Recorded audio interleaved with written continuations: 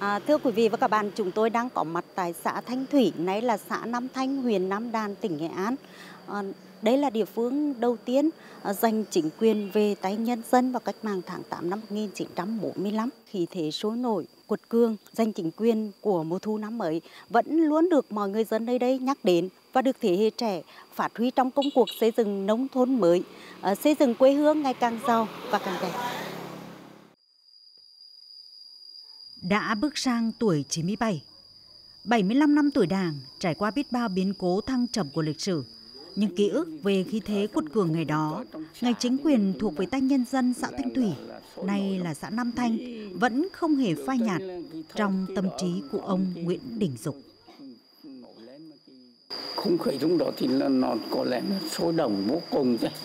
À, anh em là thanh niên thì ở trong cái khu ở trong xã thì chúng là sôi nổi lắm đi quanh xã cả làng nó đóng rồi hố khẩu như váng đấy. Thắng lợi của xã Thanh Thủy đã mở đầu cho phong trào khởi nghĩa giành chính quyền tạo động lực cho nhân dân các làng xã khác trong toàn huyện Nam Đàn nhất tề đứng lên. Và thắng lợi này có được là nhờ sự đoàn kết nhất trí và quyết tâm cách mạng cao của mọi tầng lớp nhân dân lao động. Thời kỳ kháng chiến, đây còn là một trong những cơ sở chủ chốt của huyện đoàn kết một lòng nuôi dấu che chở cho các chiến sĩ cách mạng.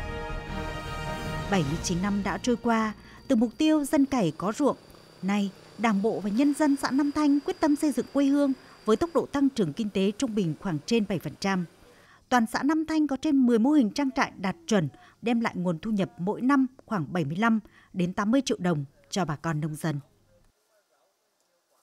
so với làm lúa màu về cái, cái, cái, cái mà theo truyền thống thì thì nó thua xa cái này nhiều.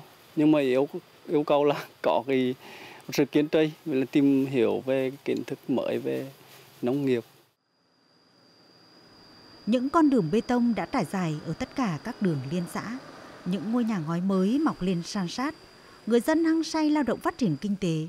Đó là nhờ đảng bộ và chính quyền xã Nam Thanh luôn xác định dựa vào sức dân và huy động tối đa nguồn sức mạnh từ nhân dân trong xây dựng nông thôn mới, nông thôn mới kiểu mẫu.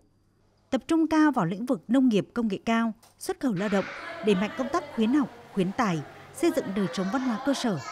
Hiện nay đã có 3 trên 3 trường đạt chuẩn quốc gia mức độ 2.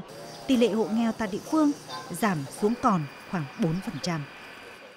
Hiện nay đó, thì đảng bộ và nhân dân Nam Tây luôn luôn phát huy cái thế mạnh của vùng xã vùng bản sơn địa để tập trung cao cho là các cái ừ, cây con là chủ lực có cái thế mạnh của địa phương những đổi thay trên quê hương cách mạng Nam Thanh chính là thành quả, cũng là niềm tự hào của các cấp ủy đảng, chính quyền và nhân dân nơi đây. Niềm tự hào ấy tạo nên sức mạnh đoàn kết, thôi thúc họ hăng say thi đua lao động sản xuất, xây dựng cuộc sống mới, hướng tới tương lai tốt đẹp hơn.